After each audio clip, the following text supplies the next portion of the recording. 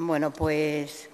eh, otra vez estamos aquí para tratar un tema que hemos tratado con anterioridad, ¿no? que es la, situación que se ha generado con ocasión de la acción humana sobre el medio ambiente, el daño que desde luego estamos haciendo. Llegamos tarde porque hablábamos en, la iniciativa del Partido Popular con respecto a la prevención de incendios forestales, hablábamos de cómo em, este verano pues, se han incrementado sustancialmente y le, afeábamos que no había hecho ni una sola mención a la situación del cambio climático. Bueno, pues lo que es evidente es que esa situación de calentamiento global ha venido, desde luego, provocada por un por un mirar para otro lado cuando ya veíamos los distintos síntomas que se venían generando. Más allá de determinadas posiciones negacionistas en muchísimos ámbitos, pues, y efectivamente, eh, especialmente en una bancada muy concreta, ¿no? Baste ver los, los expertos que han traído con ocasión de la ley de biodiversidad o las propias enmiendas a la totalidad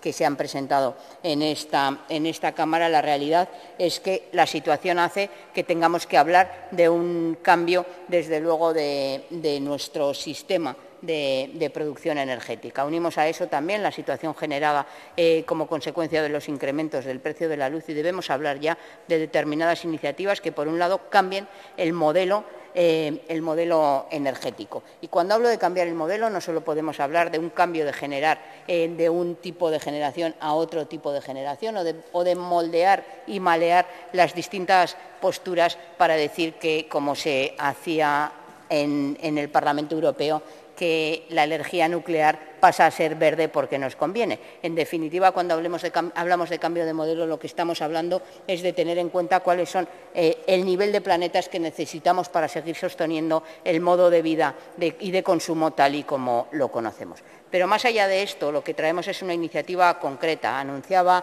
la presidenta del Gobierno en el debate sobre el estado de la región la colocación de placas fotovoltaicas en el ámbito del CIBIR en concreto para eh, impulsar eh, este tipo de iniciativas eh, para ir cambiando y construyendo ese cambio hacia la transformación en la generación de electricidad. Y es necesario, desde luego, que posturas como esa se generalicen. Ya es importante, por tanto, abordar en prácticamente la totalidad de los edificios públicos la colocación esas,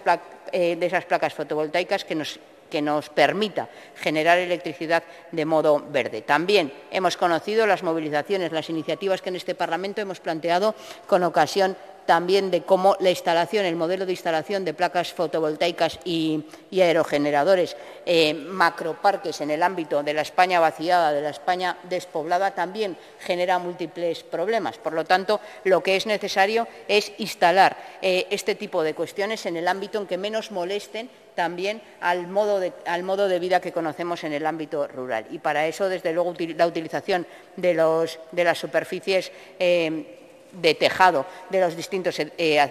edificios públicos es una cuestión fundamental para abordar esa iniciativa. Y traemos aquí una iniciativa para que esto se instale en todos los centros escolares, porque junto a eso, junto a ese cambio climático y a ese eh, inicio de, o sea, esa final de curso que fue con altísimas temperaturas y que generó también eh, importantes situaciones de incomodidad del profesorado y de los alumnos, falta de, situaciones de prevención de riesgos laborales, especialmente en ámbitos como, por ejemplo, el de la formación profesional, donde además la utilización de determinada maquinaria hace que, las cosas, que, la temperatura también suba y añadido a esto, ¿no? Lo comentaba el señor Pérez Ligero con anterioridad.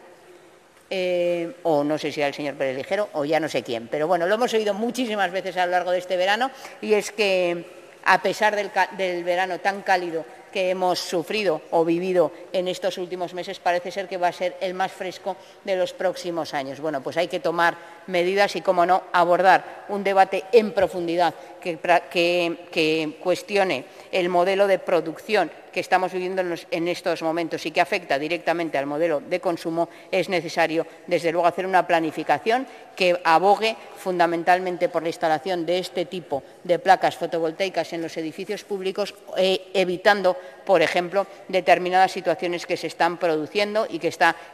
compitiendo, y, diríamos compitiendo deslealmente con, los que quieren adquirir terreno para, por ejemplo, em, el cultivo agrario o agrícola, es necesario, por tanto, utilizar los edificios dentro de las administraciones que nos permitirán, por un lado, generar la energía donde se consume, porque esa instalación en el ámbito de los centros educativos permitirá, por un lado, utilizar eso para generar la energía de esos centros educativos y, como siempre habrá un sobrante, con él también podremos incidir en políticas para, em, para que esto se em, cubra eh, necesidades eh, de personas o de sectores en mayor vulnerabilidad eh, y pobreza energética. Sin más, pidiendo nuevamente el voto favorable, a no ser que consideren que estoy haciendo una utilización partidista de la lucha contra el cambio climático. Sin más, hasta luego.